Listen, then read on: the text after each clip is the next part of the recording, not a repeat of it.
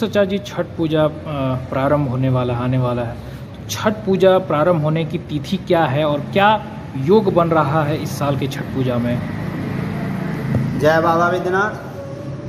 कार्तिक महीने के शुक्ल पक्ष खष्टी तिथि को सूर्य खष्टी व्रत कहते हैं, डाला छठ जिसका नाम है।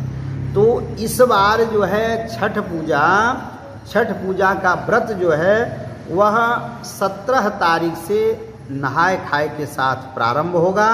अट्ठारह तारीख को खरना है और उन्नीस तारीख को सायंकालीन अर्घ उन्नीस तारीख जो है, वह सायंकालीन अर्घ है और 20 तारीख पाँच बज के छत्तीस मिनट तक आप प्रातःकालीन अर्घ प्रदान कर दें, नहीं तो फिर अष्टमी पड़ रहा है। इस बार ऐसा संयोग है शुभ संयोग इसको तो नहीं कहा जाए, लेकिन एक ही शुभ संयोग है कि रविवार को सूर्य भगवान का व्रत पड़ रहा है। रविवार जो है वह सूर्य का दिन भी है और खष्टी व्रत भी है। ये संयोग है। लेकिन दोनों अर्घ जो है, खष्टी में नहीं पड़ रहा है, दोनों अर्घ सप्तमी में पड़ रहा है।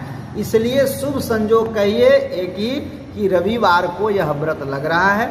आप अपने आरोग्यता के लिए आपके शरीर में यदि किसी प्रकार का बीमारी है तो शरीर का मालिक सूर्य है तो सूर्य का अर्घ प्रदान करके आप रोग से मुक्त हो सकते हैं इस बार के छठ